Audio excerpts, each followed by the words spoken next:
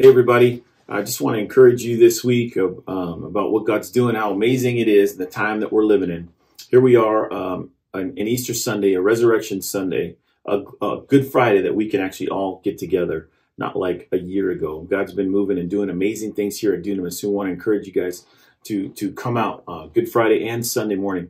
But I want to encourage you by reading you this verse too. Isaiah 61 says, Arise, shine, for your light has come, and the glory of the Lord has risen upon you.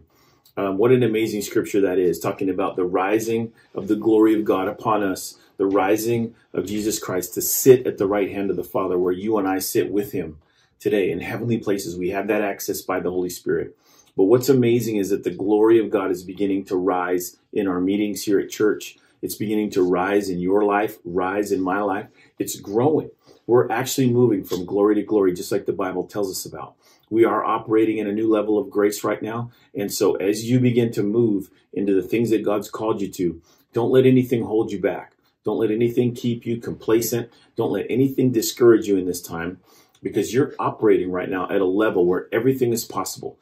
Every door that can be opened is going to be open before you. You're going to be able to attain and rise to things you never could before. This is for all of us. Nobody's left out.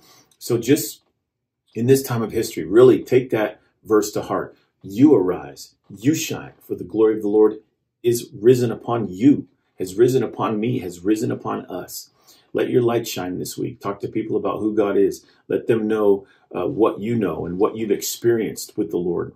Uh, don't be afraid and, and just know that people's hearts are open right now in ways like we've never seen before because the glory of God is moving in an awesome way. So I want to encourage you with that word. Go read Isaiah 60 and verse 1 and let that thing just begin to bubble up and well up in your heart. We'll see you guys Friday night and Sunday morning. We love you, and the glory of the Lord has risen upon all of us.